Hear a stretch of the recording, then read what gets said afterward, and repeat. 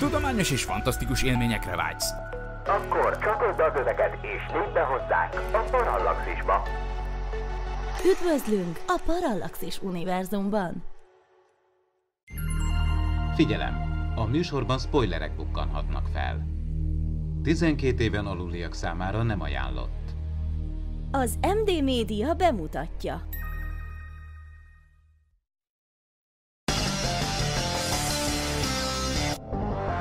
Ez itt az emtv.hu Médiazabálók című podcastje. Aki kérdez, Csaba és Ádám. Aki válaszol, Carter, magyar hangja Spilák Klára.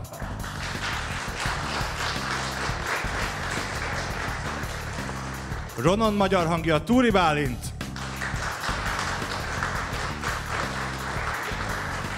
És aki nélkül a színészek nem szólalhatnának meg, a hangmérnök Házi Sándor.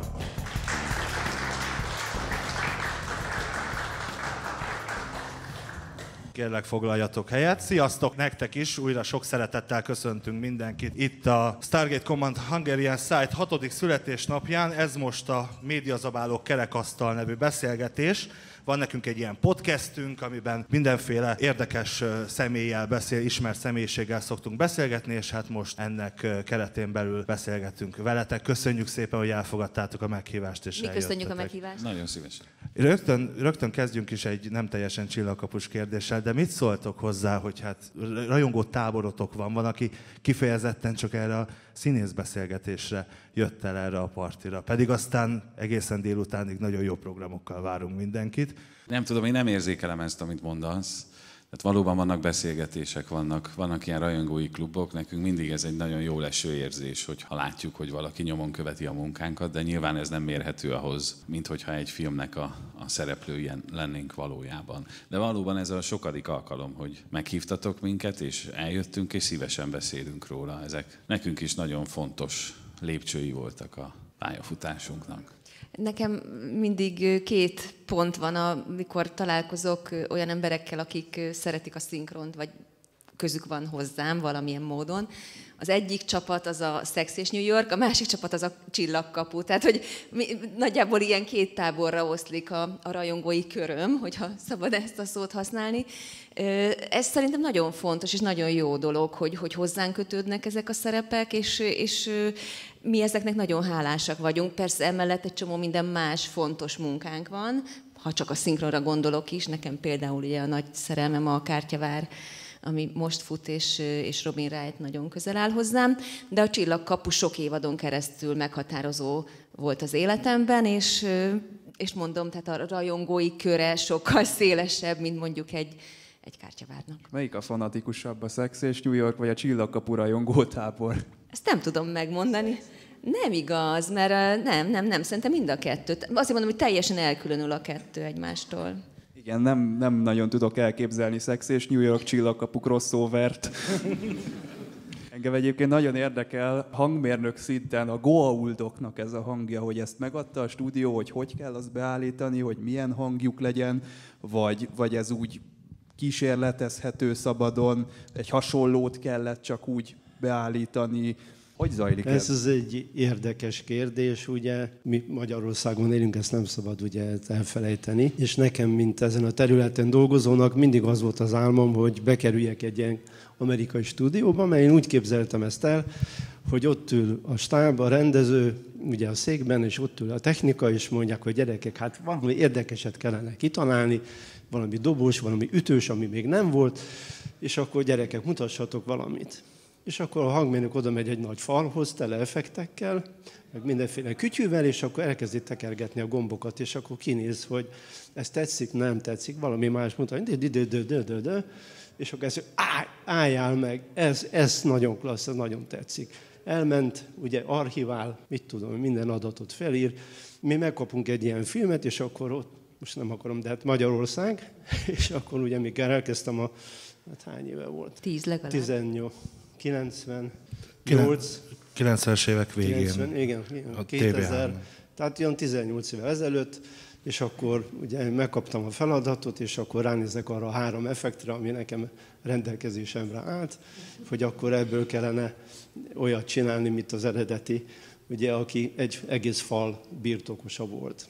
Hát ez ugye irigykedtünk mindig, hogy mit. De hát ez volt a, az érdekesség az egészben, ugye a mi feladatunk az, hogy teljes mértékben kvázi hát utánozzuk, illetve hozzuk azt a feelinget, amit az eredeti alkotók kitaláltak, és hát az én szempontomból ez volt a szépsége az egésznek, hogy hogy ezeket a hangokat olyan szintre hozzuk, mint ahogy az eredetiek hogy a hatást, ugyanazt a hatást kell nekünk elérni, mint a, ugye a kinti alkotók. De hogy itt van egy közösség, azért azt hadd mondjam el, hogy milyen a közösség ereje. Annak idején, mikor mi elkezdtük, akkor még a munkán nagyjából Hát most is van úgy, hogy ugye harc folyik a feladatokért, és akkor volt egy másik stúdió, aki most már kimerem mondani, hogy kevesebbet ígért ugye annál a stúdiónál, mint amit mi készítettünk a, ugye a filmeket, ugye akkor még a TV2 adta. Hát először a TV3, aztán a TV2. A TV2-höz került, és akkor elkerült tőlünk ez a, ez a munka. Hát én nagyon sajnáltam, mert én is ilyen technikai skifi rajongó vagyok, ugye a galaktikát gyűjtöttem én is, meg nem tudom micsoda. Tehát én, engem érdekelt is azon kívül, hogy mint feladat ezt én kaptam meg.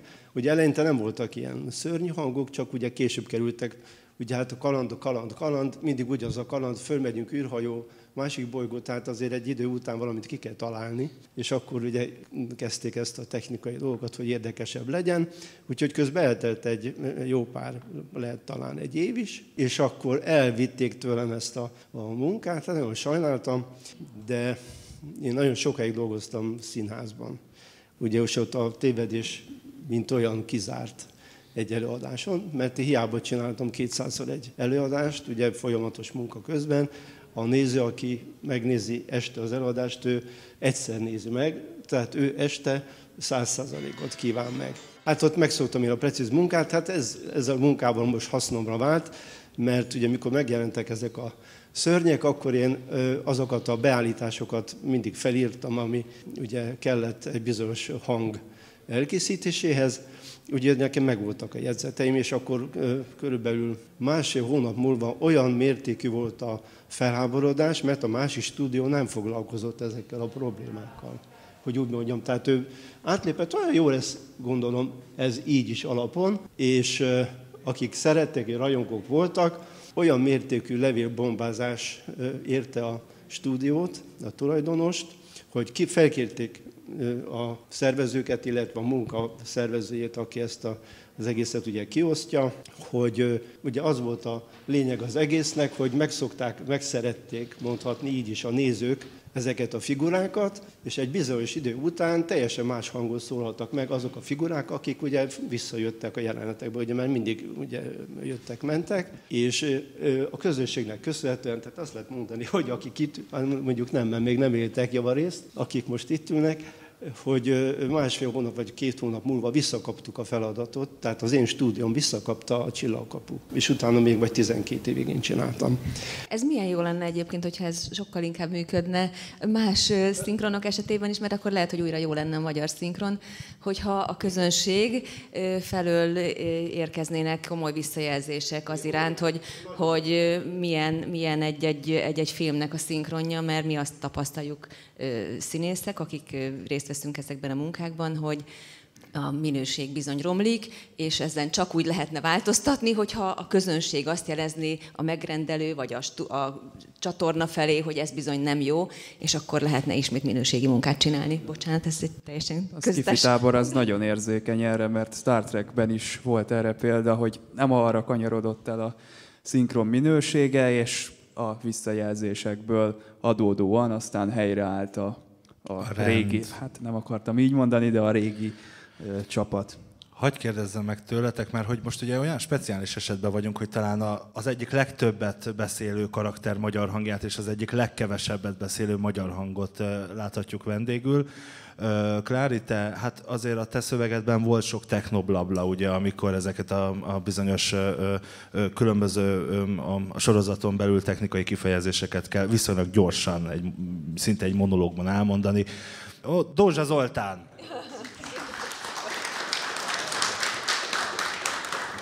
Már is egy, már is egy széket kollégahoz. Köszönjük szépen neked is, hogy megérkeztél. Már is, már is, már is meg, kifogadtunk téged is. Hát aki esetleg, de hát itt nincs olyan, aki nem tudná, természetesen Shepard magyar hangja érkezett hozzánk, úgyhogy szóval, hogy meggyűlt esetleg ezzel a, ezzel a bajod? Igen, nekem nagyon nagy kihívást jelentett ez a sorozat. Ugye én a harmadik évadba kapcsoltam, azt hiszem be, az első évadba, ötödikben, nem tudom hányadikban. Szóval a lényeg az, hogy én a harmadik Carter hang voltam, ugye a Sájuci volt az első, utána jött a Kecskés Karin, és utána lettem én. Bár azokat a visszajelzéseket kaptam, hogy én voltam a legjobb, és ezt nagyon köszönöm, amikor nem is így gondolják, de nekem ez így szűrődött le. Nagyon nehéz volt, különösen azért, mert én nem vagyok járatos, tehát én nem olvastam science fiction könyveket, nem nagyon nézek science fiction sorozatokat, filmeket. Tehát kivéve nekem a ezek, csillagkaput. Kivéve a csillagkaput természetesen. Tehát nekem ezek a szavak, ezek a szakszavak, amik itt megjelentek, ezek, ezek idegenek voltak, és, és tényleg nagyon-nagyon professzionálisan, hiszen én ugye vezetem ezt a, ezt a legénységnek egy részét, kellett jelen lennem. Nagyon határozottan és nagyon sokat és nagyon tudományosan beszélnem, ezért úgy kellett csinálnom, mintha érteném, amit mondok. De, de, de hogy nem, nem mindig értettem, és ugye, ugye a, a fordító se, nem tudom, fordítóban-e volt-e, de hogy ő se könnyítette meg időnként a dolgunkat, mert ő nagyon profi volt a, a, a, ebben a műfajban, tehát én tudom, hogy ő egy nagy rajongója talán a, a magának a csillagkapunak, tehát időnként még ki is kaptunk, ha valamit átírtunk szöveget, mert úgy gondoltuk, hogy ez szerintünk így értelmesebb lenne, vagy jobb lenne, vagy mondhatóbb lenne, és utána visszamenőleg ő azt mondta, hogy de hát ez nem, mert ez annyira fontos lett volna, hogy így legyen. Szóval, hogy, hogy, hogy ez egy, nekem egy nagyon nagy kihívás és feladat volt, hogy úgy csináljuk, mintha érteném ezt a, a szöveget, és maga biztosan adjam elő. Ez még azt hozzá, ugye én kezeltem a hölgyet, és akkor ugye és akkor ugye hát voltak olyan problémák, hogy ugye a szövegírót elragadta a fantázia, és akkor ugye ha a technikai része is érdekel benneteket, akkor azt el kell mondani, hogy azért a másodpercek nagyon szűken vannak mérve egy ilyen feladatnál, úgyhogy jó legyen, baki nélkül legyen, magyar legyen, értelmes legyen, érdekes legyen, tehát azt mondjuk 13 másodpercben ugye el kell mondani, és azt meg kell mondani, hogy a Klári volt az egyetlen, aki, volt, amikor megtapsoltuk, tehát olyan szinten, hogy bár ő megkérdezte, hogy most mit mondtam, de hát az nem, az nem volt. Ő volt az egyetlen, Ő volt az egyetlen, hogy, hogy miről van szó, és akkor mondom, én, én ugye nagyon sokáig készítettem ezt a sorozatot, és néha kinézett, hogy most, hogy ő megkérdeztem tőle, hogy most akkor érdekel, hogy mondta, hogy nem érdekel engem, hogy miről van szó és ennek ellenére úgy tudta csodálatosan elmondani a, a szöveget, mint a... Te, tehát fantasztikus. Ő fogta össze a technikai részt, ugye a nagy pekhe volt ebben, de viszont beszédtechnikai órán a kitűnő volt ez a feladat. De talán nála többet csak Kerekes József beszélt a, a, a sorozatban, mint Rodney McKay. Tehát volt ez a Tilk neki figura, aki ugye átállt a másik oldalra, ugye a plecsnivel a homlok a közepén, és hát fantasztikus, ő nagyon imádta a figurát, meg kijött a felvételre, csináltunk mindig ugye három vagy négy, a Bognál Tamás volt később, négy részt, tehát az mindenképpen 40 percével számolva, és akkor ő mondott öt igent és öt nemet. és mondta, hogy bakis voltam, nem, nem voltál bakis. Úgyhogy ő imádta. Ő azt mondta sokszor, hogy valóban ez, ezt kellett neki mondani. Igen. Valóban az volt a kedvenc fordulatig. Igen, már, már, már, már Ronani magasságokban, vagy inkább Ronan Tilki magasságokban. Igen, én ezt, ezt a részét nagyon szerettem, mert tényleg végignéztem, ahogy a, ahogy a Pubi ötször, hatszor neki fut egy-egy tekersnek, és az Istennek nem tudja elmondani szerencsét. Egyszer találkozott a Ronon meg a Tilk egy epizódban, arra is emlékszem, hogy ez a két tank. Nem volt benne sok duma egyébként. Igen. De hogy ahhoz képest valóban, amit a többiek küzdöttek, nekem könnyű dolgom volt, mert általában végére volt egy bólintás, amire egy hangot is adott. És aztán vártam, hogy a többiek is boldoguljanak, és végre haladhassunk tovább. Zoli, neked mennyire volt nehéz egy ilyen katonát hozni? Azért ő is inkább ilyen akció, akciófigura volt, tehát nem voltak olyan nehézségeim, mint a Klárinak benne. Nem. Tiéd volt a vidám, tehát a vidám hangulaté volt feladatos. Igen, igen. Aki minden feladatot könnyedén megoldott, igen. és humorral. Ötlet gazdagon vitte a, a figurát, úgyhogy a könnyedebbik oldalon volt, nem kevésbé fontos, de Igen. Egy, egy kedves figura volt a. Pontosan. Nem is kell mondanom semmit. Van valami, amit fel tudsz idézni, akár jelenet, akár, akár a, a, a szinkronban egy olyan pillanat, ami akár nagyon nehéz volt, vagy, vagy nagyon könnyű, vagy vicces. Igazából, miután a, a Pubival voltam nagyon sokat együtt, a Kerekes Józsival, ő, mi az egy színháznál is voltunk, tehát szinte minden este együtt játszottunk, tehát én ugye borzasztó jól szórakoztam rajta ezeken a, ezeken a felvételeken, amikor ez a bőbeszédű figura, nem, nem tudom, hogy hívták a, az ő figuráját, a, nem az övét, hanem a, a, a Pubiét, a, Rodney McKay. Ja, McKay. igen, Rodi. Tehát, hogy hihetetlen mennyiségű szöveget írtak neki, és hát ez, erre emlékszem, hogy ez roppant szórakoztató volt, hogy a kollega dolgozik, nem én. igen. De igazából elég régen volt már ez, tehát nem is tudom, 15 éve, 10 éve. Hát körülbelül 10 biztos van. Azért És, az elég, elég hosszú idő, hogy ilyen részletekre így emlékezzünk. És kö- és hogyha van közben- egy olyan markáns figura, mint a Klári, amire ugye a, a nehézségei miatt emlékszik. De, de, de én is azokra, tehát az az igazság, hogy arra emlékszem leginkább, amikor, a, amikor elment a, a magánéleti részébe, amikor megláttuk a, a, a, a Samantha Cartert nőként, emberként, amikor a, a, elutazott a, a, a, úgy, nem emlékszem pontosan, tehát hogy a családjához, amikor az a szerelmi szál kibontakozott. Tehát, hogy, hogy ugye az akciók jöttek egymás után, és mindig parancsszavakat kellett végrehajtani, és mindig problémát megoldani, de nekem emberileg, vagy színésznőként azok a pillanatok voltak igazán izgalmasok, amikor, amikor őt emberként láthattam meg, és nem ebben a katonai fegyelmezett izébe.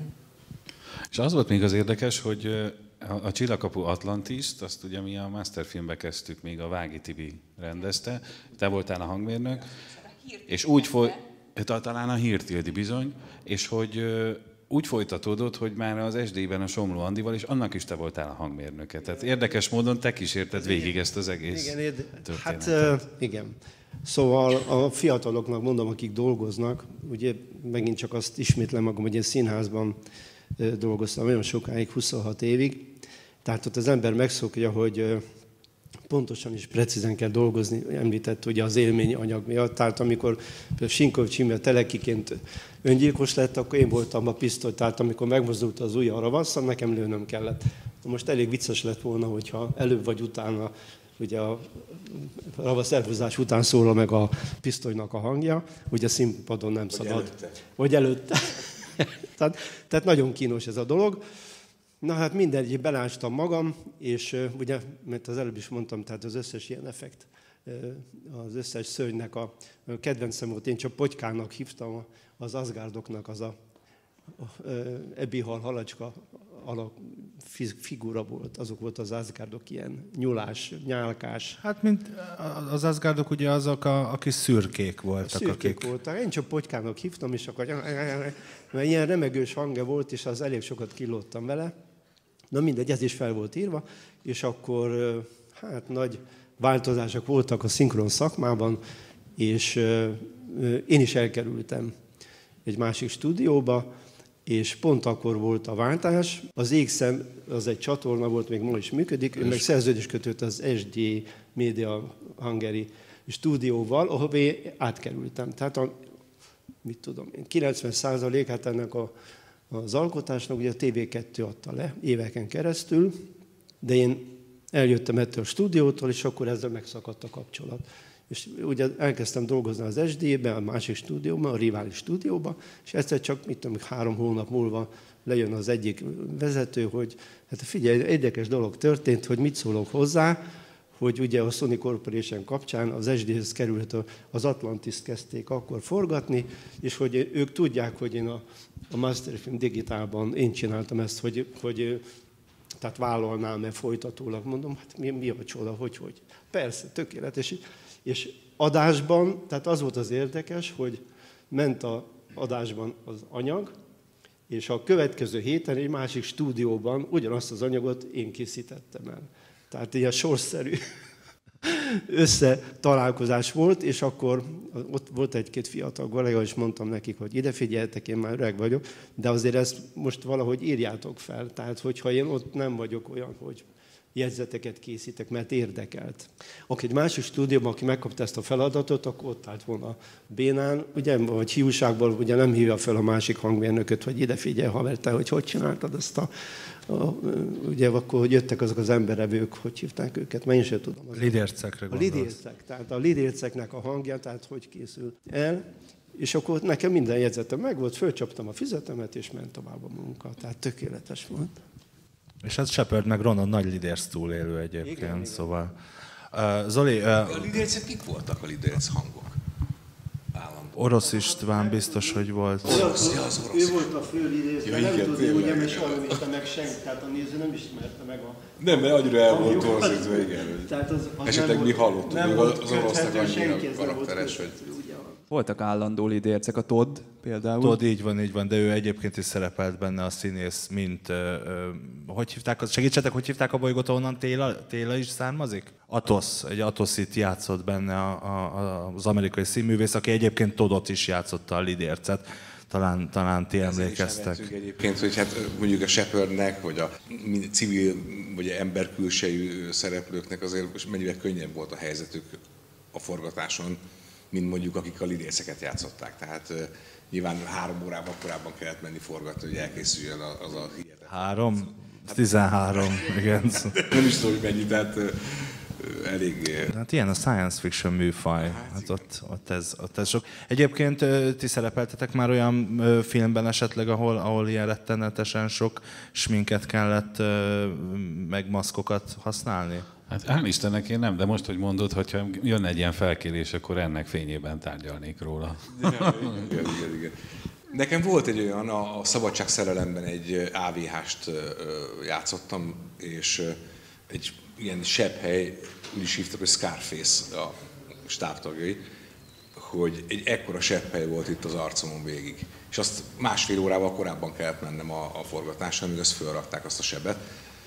Aztán persze az egészből ö, egy villanás is sem látszik a filmben, mert folyamatosan csak ezt a fe- felét mutatják a fejemnek, úgyhogy ebből semmi nem látszott, úgyhogy teljesen fölösleges volt, de én nekem volt egy ilyen élményem, igen. Csillagkapuval mennyire szoktatok találkozni, elkapjátok-e tévében, és ha igen, akkor mit szóltok saját karakteretekhez, megszólalásotokhoz? Bevallom őszintén, én nem nagyon nézek tévét, úgyhogy én ehhez nem tudok most hozzászólni, de hogy más se nézek, tehát én saját magamat se szoktam megnézni. Talán én vagyok az egyetlen, aki nem láttam egy Sex és New York részt sem egyben a tévében, mert hogy azt se néztem meg. Úgyhogy, úgyhogy tehát, hogy, hogy én nem, nem, nem, nem szoktam magam visszanézni. Egy-egy, e- e- tehát amikor elindul mondjuk egy sorozat, akkor egyszer-egyszer ö, belenézek, csak azért, hogy ellenőrizzem magam, hogy tényleg, hogy rajta vagyok-e a figurán vagy a karakteren, de egyébként ö, nem kultiválom nagyon a televíziót, inkább ö, filmeket nézek. Főleg a főszerepet viszel egy filmbe vagy sorozatba, az nyilván azért már, főleg egy filmben azért az olyan spoileres, mert hát ugye végigcsinálod esetleg, te vagy a kulcsfigura, akkor, akkor nyilván tudod a végét, de hogy téged egyébként, be, és ezt a többiektől is megkérdezném, hogy befolyásol esetleg az, hogy élvezetben egy film, Nem. mondjuk elmész moziban, Nem, én teljesen ártatlan nézőként tudok ülni, és, és a, figyelni a, a, a filmet. Tehát, hogy tudok teljesen kívül helyezkedni azon, hogy én esetleg tudom a történet végét, és rajongója tudok lenni egy-egy jó filmnek. egy, egy, Magamnak is? Kér- Kérlek, mondjál, mondjál még mielőtt to- továbbadnánk a szót, példát, hogy például milyen film az, ami téged nagyon megmozgatott, amit nagyon szerettél? Ami a sajátom, vagy ami egyáltalán? Egyáltalán, de lehet a sajátod is akár, az úgy még jobb. Hát most, ha magyar filmbe gondolkodok, akkor most például a legutóbb láttam, most volt a premierje az Egy napnak, ami egy három gyerekes anyukáról szól, aki én is vagyok. és, és ugye az én gyerekeim már nagyok, de hogy visszaidéződött ez a kis, ki, három gyerekkel, kicsi gyerekkel létezés, és hát nagyon nyomasztó volt, és nagyon boldog vagyok, hogy már nem ilyen kicsik. De ha még magyar film, akkor rettentesen szerettem az 1945-öt. Ö, Az egy nagyon-nagyon szép film volt.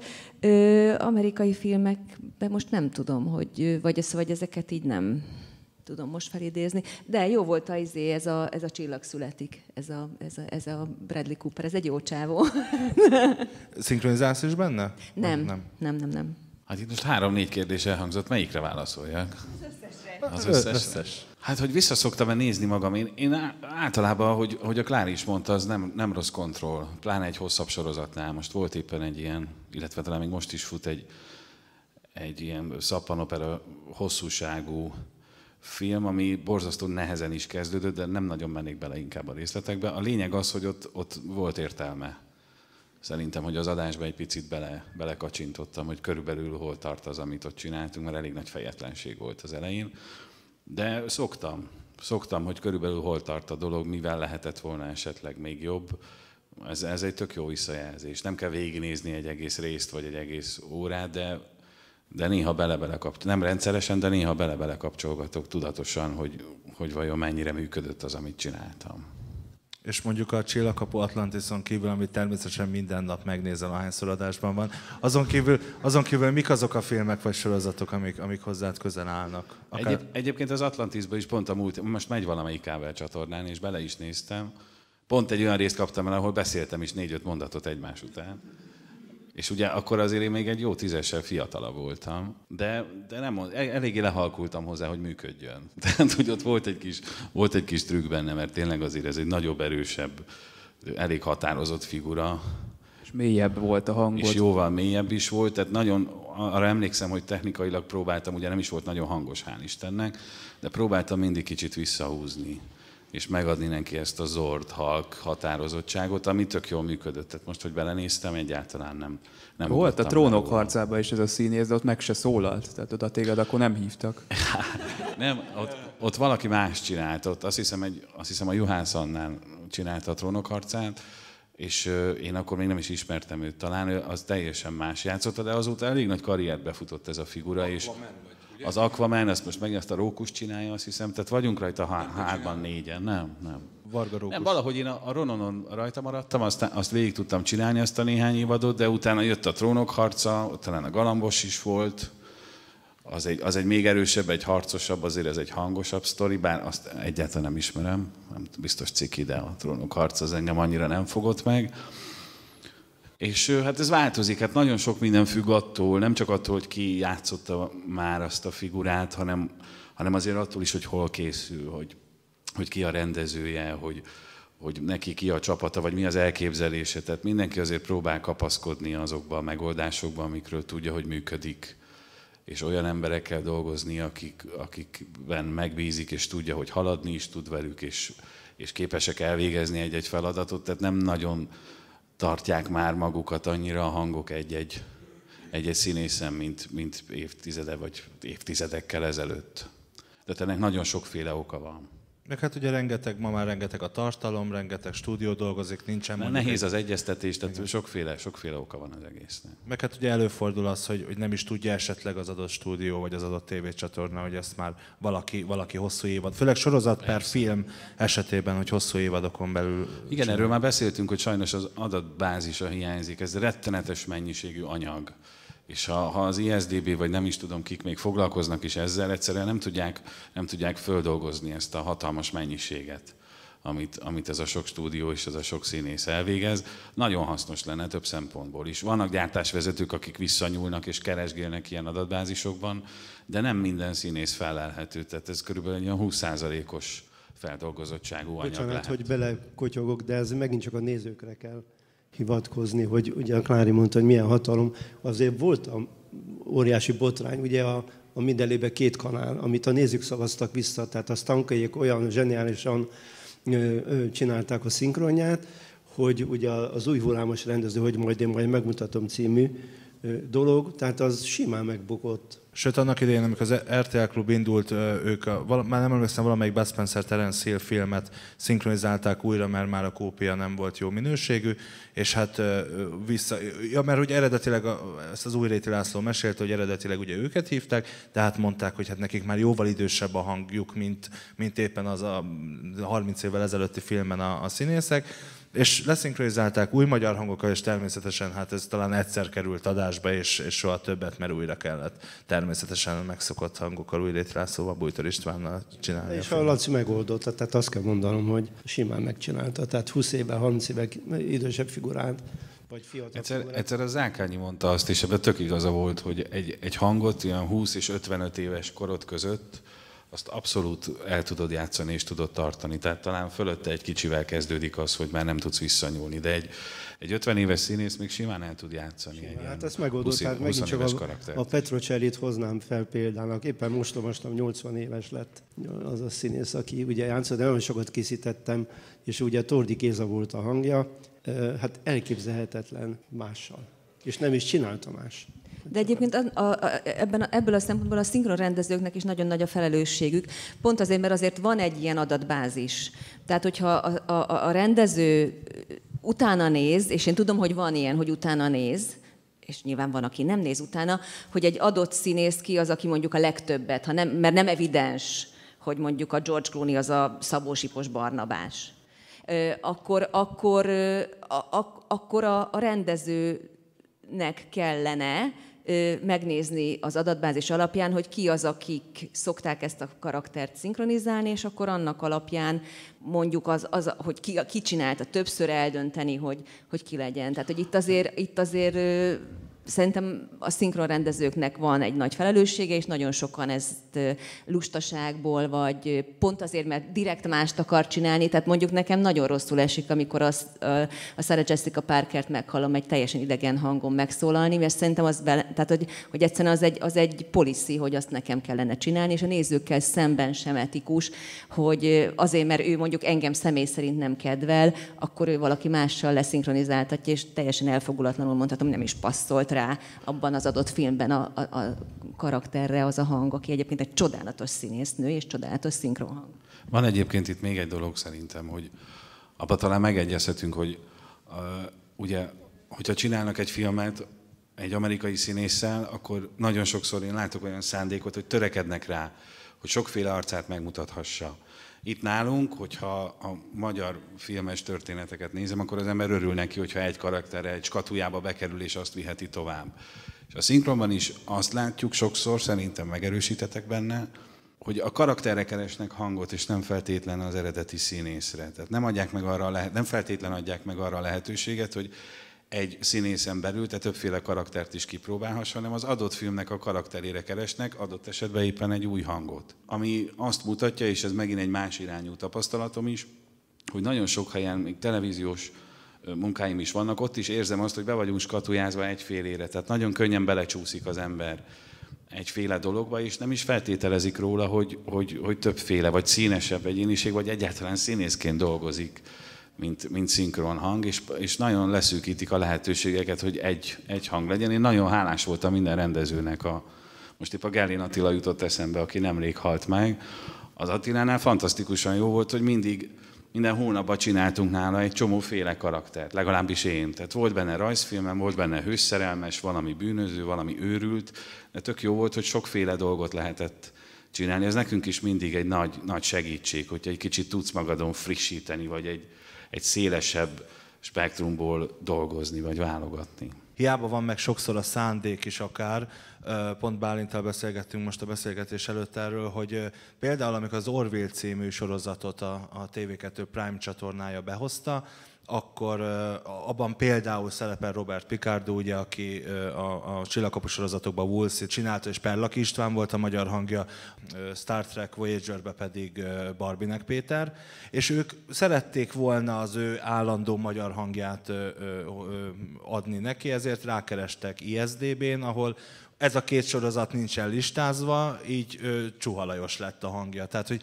hiába van meg egy csomószor a szándék, a, vagy az adott ö, rendező akár szeretné, és, vagy gyártásvezető, és nem találja meg, hogy ö, kiről is van szó, és mondjuk nem is ismeri az adott sorozatot, akkor már eleve, eleve nehezebb. Zoli, ö, kimaradtál az előző körből, itt egy kicsit közben eltértünk a témától. Mi nálunk, mi nálunk az utóbbi időben ilyen sorozatok mennek, hogy Pepa Malac, Bori barátnőm, Kájó, tehát igazából erről szól manapság a tévézésünk, de ettől függetlenül milyen egyetértek az előttem szólókkal. Például nekem van egy olyan élményem, az én kedvenc filmem az a Keresztapa. És ugye ennek volt egy régi szinkronja, amit annak idején a 70-es évek végén, 80-as évek elején csináltak még fönn a Pannonia filmstúdióban. A Faterom is szinkronizált az egyik főszerepet bennem, az én szívemben, lelkemben az a szinkron, az ugyanúgy klasszikusa annak a filmnek, mint bármelyik képkockája, amit fölvettek. És megtörtént aztán az, hogy azt hiszem, hogy azért, mert hogy digitalizálták az egész technikát, ezért újra szinkronizálták a keresztapát.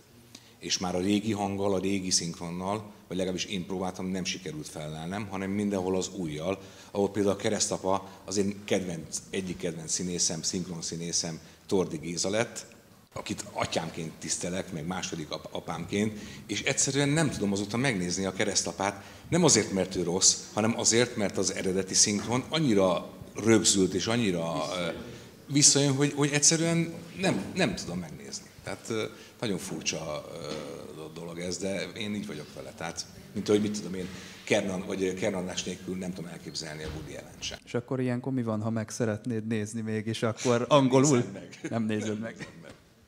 Nem. Akkor már jó régóta nem láttad. Hát körülbelül 15 év, amióta ez megtörtént, vagy 10 év, amikor újra... Tehát minden videótékában már csak az új szinkronnal lehetett kibenni. Szóval még hogy csak rád reflektáljak így a hangokkal kapcsolatban, azért azt el kell mondani is a színészek dicséretét, ugye szeretném itt aláhúzni, hogy némelyik film magyarul élvezhetőbb, mint az eredeti angol. Például múltkor láttam egy filmet, a mi stúdiumban készítette valaki, hogy, hogy kire milyen hang passzol. Megjelent ilyen 160 kilós néges rác, egy őrület, és akkor ugye mi van előttünk az, hogy ez a nagy darab néget, tehát akar biztos olyan hangja van. Nem, egy kappa, hát így, így beszélt az a gyerek, és mindenki rosszul volt. Most mit csináljunk? Tehát mi legyen a megoldás, hogy kövessük az ő hangját, vagy pedig legyen egy dögös hangja, mint ahogy egy ugye, néger, nagy darab négernek illik. Úgy, hát azt nem tudom. A dögös nagy darab. Nem, tudom, nem, nem mi készítettünk, de tudok mondani egy rendezőt, aki olyat választ rá, hogy kappa hangja le. Szóval ez egy érdekes probléma, hogy, hogy, hogy mi passzol hozzá, de a magyar szinkron azért egész világban, például a rózsaszín kismalacot Amerikába visszavásárolták magyar szinkronnal, mert sokkal jobb volt, mint a eredeti angol. És most kezdenek rákapni az amerikai menőmanó színészek az ottani rajzfilmes szinkronokra. Azt olvastam. Régen nem nagyon kedvelték, de mi most nagyon népszerűek lettek ugye a rajzfilmek, rákaptak az ízére a kinti menőmanó színészek is, hogy nem röstelnek elvállalni szinkront, rajzfilm szinkront, egy mesefigurára. Annyit kapnak érte, mint mi. De milyen, milyen szinkron áll hozzátok közelebb? Milyen szinkron az, amit, amit legszívesebben csináltok? Ugye, Klári, te mondtad, hogy például a Carterrel kapcsolatban azokat szeretted jobban, amikor ugye ő, neki az ember, a nő mi voltját láthattuk kifejtve. A sorozatban van-e, van-e esetleg akár műfai, vagy bármilyen más skatuja, amiben amit Én jó színész szeretek szinkronizálni, jó filmben, és akkor tulajdonképpen mindegy. Mert hogy az, az, az számomra izgalmas, tehát hogy én nekem nagyon fontos az, hogy a szinkron az is egy, egy művészeti ágazatnak tekintem, nem pedig egy ilyen iparos tevékenységnek. Ezért is van mindig problémáim azzal, hogy ki honnan kezd el szinkronizálni, és honnan érkezik be ebbe a műfajba. Tehát, hogy én azokat a filmeket szeretem, ami, ami jó, ami izgalmas, ami tartalmas. A horrorfilmeket nem. Tehát csináltam a fűrészből nagyon sok részt, de azt úgy csináltam meg, hogy becsuktam a szemem, és nem néztem. Én voltam az a lány, akit mindig üldözött az, az ember. Nem tudom, hogy mindig sikoltoznom kell, tehát azt nem szerettem. De, de, de ezen belül nincsenek kitételeim. Szerintem az a jó, ha jó színészt szinkronizálhatsz. Most eszembe jutott, hogy a fűré, az utolsó fűrészben nekem is volt egy szerepem, hogy ugye öt embert írtanak ki rettenetesen, és én voltam az ötödik. Tehát utána megkérdeztem a rendezőt, hogy haragszol rám valamiért, mert hogy végig kellett üvöltsem tényleg azt az 80 tekercset.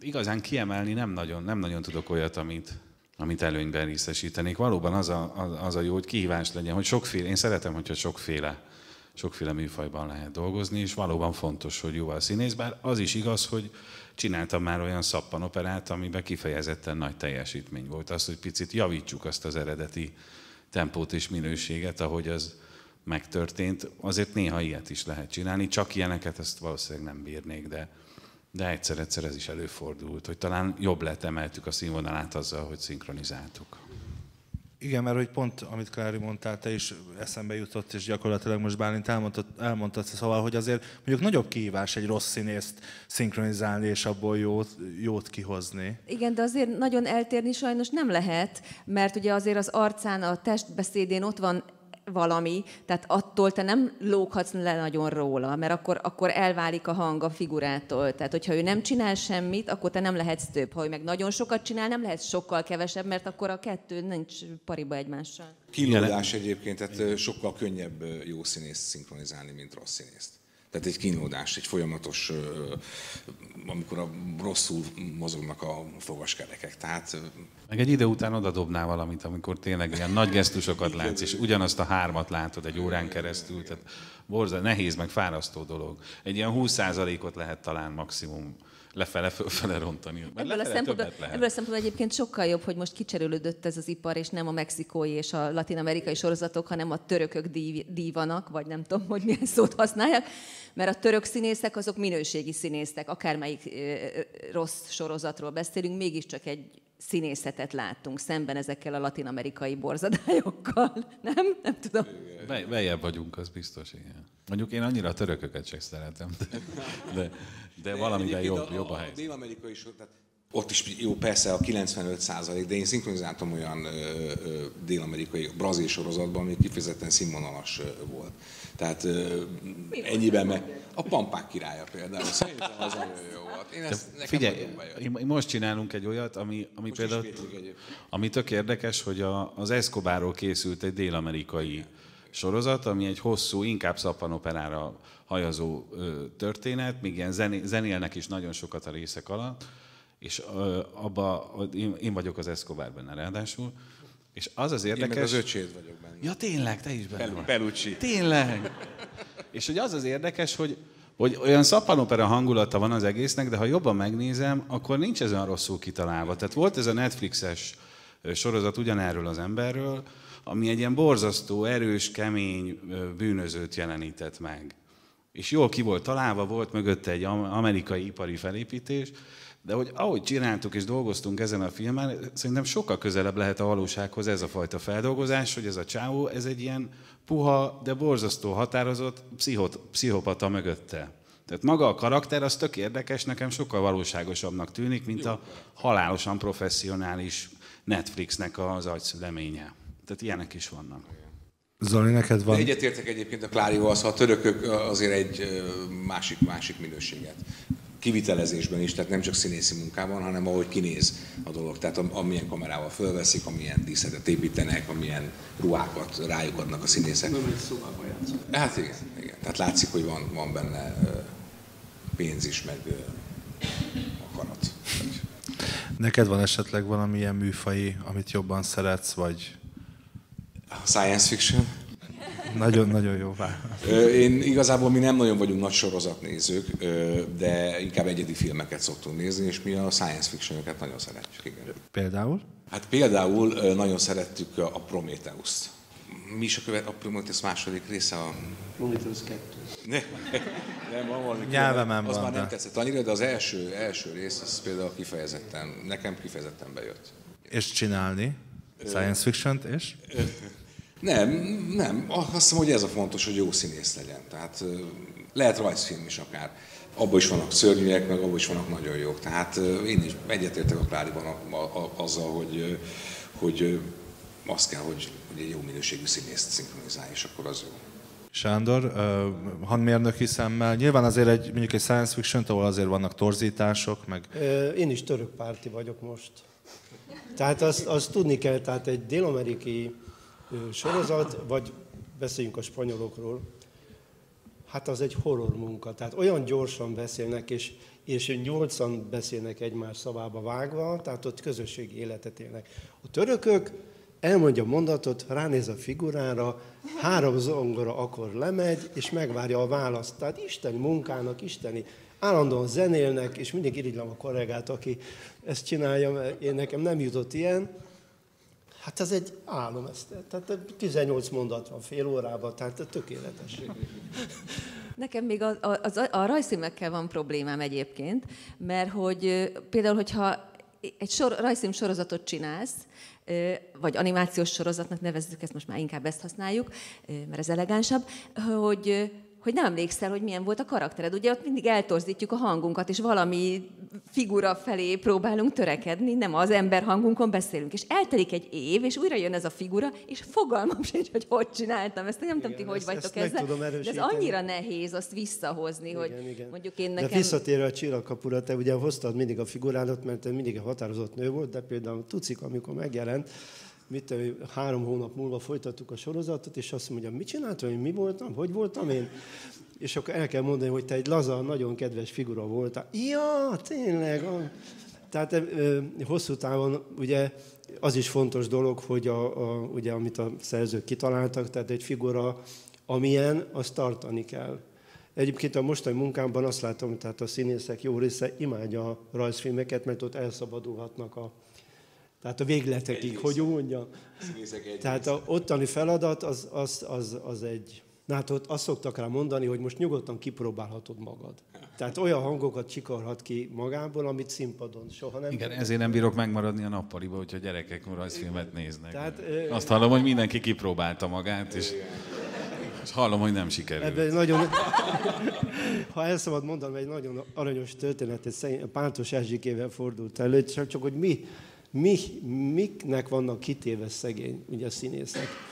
Ugye nagyon kedves hölgy, nagyon sokat szeret beszélni, meghívták őt egy castingra, ugye, mert most az a divat, hogy az, a, a külföldi tulajdonos kikéri a hangmintának hívják ezeket a, a kis mondatokat, amiket a, a kinti figurára, a magyar hangra elképzel a rendező, azok bizonyos jeleneteket felvesznek belőle, és ki kell küldeni. Kvázi nem dönthet itteni magyar rendezők is korlátok közé van szorítva. Úgyhogy vannak ilyen castingok, és akkor egy figurára általában három-öt embert, ugyanarra a figurára három-öt embert kell kihívni. Tehát van egy kislány, akkor kijön öt kislány. Van egy nagymama, akkor kijön öt nagymama. Köszönöm, hogy rámutattál. és, tehát ez, ez egy nagyon macerás munka, és ugye nagyon kell követni a kinti eseményeket, és a Pártos Erzsikével fordult elő egyszer. Egy másik, ugye mai élet egy színésznek nem rózsás. Van, aki egy nap 3-4-5 stúdióba is megfordul, hogyha olyan feladatokat kap és Erzsikével dolgoztam délután amikor jött hozzám egy, egy, szintén egy régi figurájára. Ő mindig mosolygós és happy. Most bejött a stúdióba, és, és teljesen le volt lombozva, és annyira feltűnő volt a, a, a saját énjéhez képesti megjelenése, hogy megkérdeztük, hogy Erzsik, hát mi van, valami baj van, beteg vagy, de mi történt? Nem azt mondja, a Kastigon voltam egy stúdióban valami rajzfilmre, mondom, és ezért így tehát teljesen maga alatt volt. Hát azt mondja, mondom, akkor ugye pszichológusnak is kell lenni a, a művészekkel, úgy, mert néha elszabadul bent a Kéne. szóval nem, nem könnyű eset.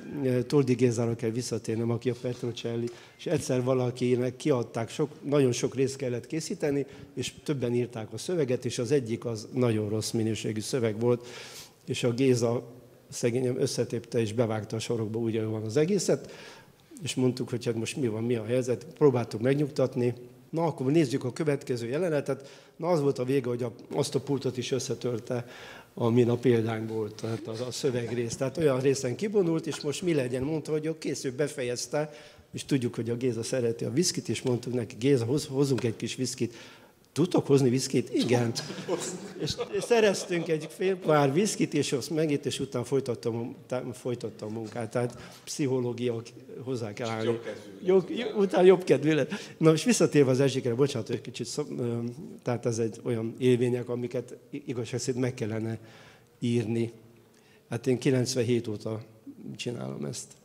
És Erzsike, ha mondom akkor magamban, mitől fog megnyugodni, mondja el a történetet, hát attól megnyugszik. És azt mondja, hát akkor mi történt? Mesélj el. Hát azt mondja, képzeljétek el, kihívtak egy castingra, nagyon rokonszemes fiatal rendező ült a rendező székbe, és akkor mi legyen, hogy legyen, Erzséke, ott van, be van készítve minden a stúdióban, ugye, ugye akusztika le van választva, oda van készítve a példány, két mondatról van szó, bemegy, jó. Hát azt mondja, akkor ugye mik kint az utasító lehet hallani, amit a bent ugyan beszél a művész, és akkor Na jó van, aranyoskáim, ugyan vannak ilyen szavanyos, szavajárása, hogy akkor az, hogy mi legyek. Van egy képernyő, és ránéz a képernyője, tele volt lufival. És azt mondja, most mit, mit csinálunk? Hát azt mondja, szinkronizálunk. Szinkronizálunk? Igen. Hát és akkor mi leszek én? Hát Erzséke drága, a jobb felső sorokban van egy rózsaszín. Lufi, az lesz az Erzséke.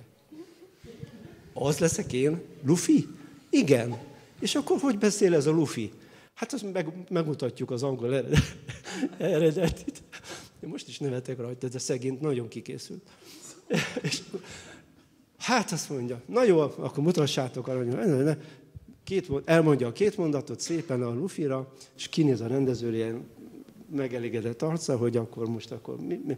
Erzsike, Erzsike drága, nagyon jó volt ez a mondat, amit elmondott, de hogyha azt az részt, amikor azt mondja, hogy akkor a kicsit, ahogy meg... Jó van, jó van, jó van, indítsátok el. Elmondta a mondatot. Na, nagyon jó, sokkal jobb lett, mint az előbb, de hogyha a végén, hogyha azt mondaná, hogy izém, izé, akkor mutassátok. Leforgatják azt a kis jelenetet, 30 másodperc, elmondja, kinéz, Erzséke drága, na, egy, most majdnem jó, de hogyha az, puf, levágta a példát, kirohant, azt mondja a rendezőnek, édesfiam, ez a Luffy nem én vagyok. és kirohant az ajtón, és a délután megjelent, megjelent náluk is teljes, remegett, de hát tudni kell, hogy ő mindig egy vidám, tehát ilyet is tud. De, munka. De várjál, egy, egy eszembe jutott nekem is erről, hogy a, a South Parkot, amikor csinálták az egyik stúdióba, akkor volt, hogy a Széles Tomit kihívták egy szerepre. És mondta, hogy South Park nagyon örült neki, és kérdezte, hogy és mit játszom? És mondták neki, hogy hát egy 30 tekercs, hogy, hogy valahogy úgy nem válaszoltak a kérdésén. De kérdezték, és ő lett a Kula bácsi. Tehát egy, kihívták egy darab szarra, és nem nagyon akarták vele közölni. Karakteretek nagyon sokszor lépett át a, a kapun, és lépett be az esemény horizontba.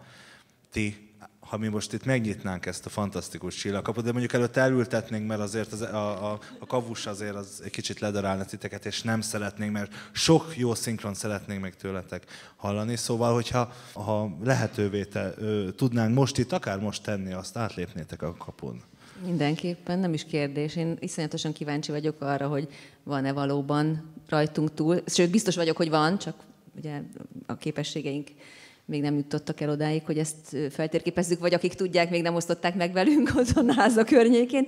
De engem a, a, a múltba utazás is nagyon érdekel. Tehát nem csak a jövőre vagyok kíváncsi, hanem én nekem vannak ilyen korszakok, ahol nagyon szívesen éltem volna, vagy leg, szívesen elmennék és körülnéznék ott egy picit. Ugye a 60-as években, egy 60-as években visszautazott. Nem tudom, hogy azt a, akkor te csináltad-e épp Cartert. Igen. Igen, 60-as Én, években, igen, igen, igen, igen. De mondjuk ennél évszázadokkal mennék visszább. Mennyire nem csak tízes évekkel. Vissza? Hát nem tudom, a, a, ez, a, ez a romantika kora, ez például a, tehát ez, a, ez, ez nagyon, nagyon... Szexes New York. nagyon vonzó lenne számomra, tehát itt ez a, a századfordulat, ez a 18. század vége, 19. század eleje, ez nekem nagyon tetszik, de mondjuk ennyi. És, de a jövő is nagyon érdekel, tényleg, hogy, hogy, hogy az, amit mi gondolunk, azok, azok úgy néznek ki, olyanok, milyenek. Iszonyatosan izgalmas lehetne ez a, ez a, ez a, ez a hogyha rájönnénk erre a négy, negyedik dimenzióra, hogy ezt tudjuk használni. De egyébként nekem voltak ilyen emlékeim, tehát hogy biztos, hogy van ilyen, hogy, hogy, hogy nem tudom, talán veletek is előfordult, hogy tudom, hogy leraktam valami tárgyat valahova, és soha többet nem volt meg, és eltelt egy év, és egyszer csak ott volt, és tudom, hogy akkor, tehát hogy hetekig kerestem, szóval, hogy, hogy vannak ilyen, amikor egyszer csak az idő átugrik valami, nem tudom. Lehet, hogy nagyon hülyeséget mondok, de... x azt, na, azt attól rettek. Én félek. Én azt nem mertem nézni sose. Úristen, én Gumiemberes rész, emlékszünk a gumiemberes epizódra? Igen, igen. Hát én is kipróbálnám, én inkább előre mennék. Tehát a jövő érdekelne ilyen látogatás szinten, de mert az lenne a feltételem, hogy 9-10-kor hétfőn van egy diszpó, arra vissza kéne érni. De ha csak egy másik bolygóra juthatnál el, anélkül, hogy mondjuk, hát egy malpot átküldünk, megnézzük, hogy na mennyire tökös Rodon, szóval át, átmennél. Egy mit küldünk át? Malpot, ezek azok, akik szondák. a levegő, ja, ugye hogy szondák, másik oldalon De van. tök mindegy, mert egyébként az a lényeg, hogy mindegy, hogy hova mész a galaxisba, vagy egy másik galaxisba, mindenhol angolul beszélnek, tehát... Aha. Még a lidércek is. Hát akkor már ugorj, akkor menjünk másik galaxisba. Akkor valami, valami teljesen új levegőt keressünk magunknak. Hát én a science fiction nagyon szeretem, mint ahogy már említettem. A jövőt pedig elolvastam, mindenkinek nagyon ajánlom. Isaac Asimov, aki nem ismerné munkásságát, aki ugye lényegében az emberiségnek a jöv, közeljövőjét, közel és távol jövőjét az egész munkássága során megírta. Szuper, érdemes kipróbálni. Valójában azt gondolom egyébként, hogy borúsabban látom egy kicsit azt a fajta találkozást, ami mondjuk egy földön kívüli kultúrával lenne. Tehát én tartok attól, hogy, hogy az nem biztos, hogy az emberiségre nézve valami nagyon fényesen végződne egy, egy ilyen találkozás. Tehát én, én inkább azok pártját fogom, akik azt mondják, hogy örüljünk, hogy... Ön függetlenség napja. Tehát... Hát igen, igen, tehát körülbelül, tehát... Nem tudom, én valahogy, valahogy ezt érzem Azért, mert az emberi... Maga az emberiség miatt? Vagy? Az emberi hát mi így szocializálódott. Tehát még nem állunk készen. Ismerem az emberiség történelmét, és az végül is mindig arról szólt, hogy valamilyen módon a szomszédunkat letiporjuk és leigánszunk. Tehát én ezért ebből indulok ki, hogy hogy az életformáknak ez egy természetes állapota, és valószínűleg ez történne, szerintem. De átlépnél a kapun? Hát át persze. Söpörtel ezt. Inkább a múltba, tehát én szeretem a történelmet is nagyon, és sok olyan időszaka van, a, tehát nagyon szívesen megnézném, hogy valójában hogy történt. Tehát, hogy mit tudom én, a, a nagy októberi szocialista forradalomról ugye már tudunk sokféle olvasatot, mert tudjuk a régi idők olvasatát, aztán a mostani idők olvasatát, de hogy valójában hogy történt, azt ugye nyilván akkor tudnánk, hogyha ott lennénk. Tehát például ilyen történelmi eseményeket szívesen megnéznék egy csillagkapu segítségével. Mondjuk, mondjuk sokkal jobb azért ez, mint 40 ezer évet utazni a jövőbe, és Rodney McKay hologramjától megtudni, hogy mi történt az emberiséggel. Sándor, átlépnél a csillagkapun? Ja, hát mindenki. Hát technikai oldalon állok, tehát én igen. Egyébként ez is egy érdekes kérdés, hogy hogy szól egy hologram. Tehát ugye annak is Ugye ma, most mindenkinek van otthon. Szükség már. lesz szinkrohangokra, hologramokhoz is. Tehát én mind, mindig azon gondolkodom, hogy ugye, ugye otthoni tévék, mind, ezek modern televíziók, hogy hogy szólnak egy adásban egy televízió. Hát minden valami különbséget kell tenni, hogy ugye lássuk, hogy de hogy szól egy lézerhang. Tehát az, aki a lézerhang, ugye már tudjuk a csillagok háborújában, mikor megjelent a kis lemezzel a hogy, tehát valami zizegésnek kell lenni, hogy csak nem tudjuk milyen. Tehát például ezt megnézni, egy lézerhang, hogy hogy, hogy, hogy szól. Nagyon szépen köszönjük, hogy eljöttetek. Spilák Klára, Túri Bálint, Dózsa Zoltán és Házi Sándor. Köszönjük szépen, köszönjük szépen nektek, hogy elfogadtátok a meghívást. Nem volt elég a tudományból és a fantasztikumból? Olvasd a parallaxis.emtv.hu, lájkold a Facebook oldalunkat, nézd a YouTube csatornánkat, és hallgassd a Szokolébresztőt a Tilos Rádióban. A Tudományos Újságíró Klubja és a Tudományos Ismeretterjesztő Társulat által a Juhari Zsuzsanna díj külön díjával jutalmazott blog podcastjét az MD Media készítette. Kreatív producer Horváth Ádám Tamás. Hamarosan jön a következő rész.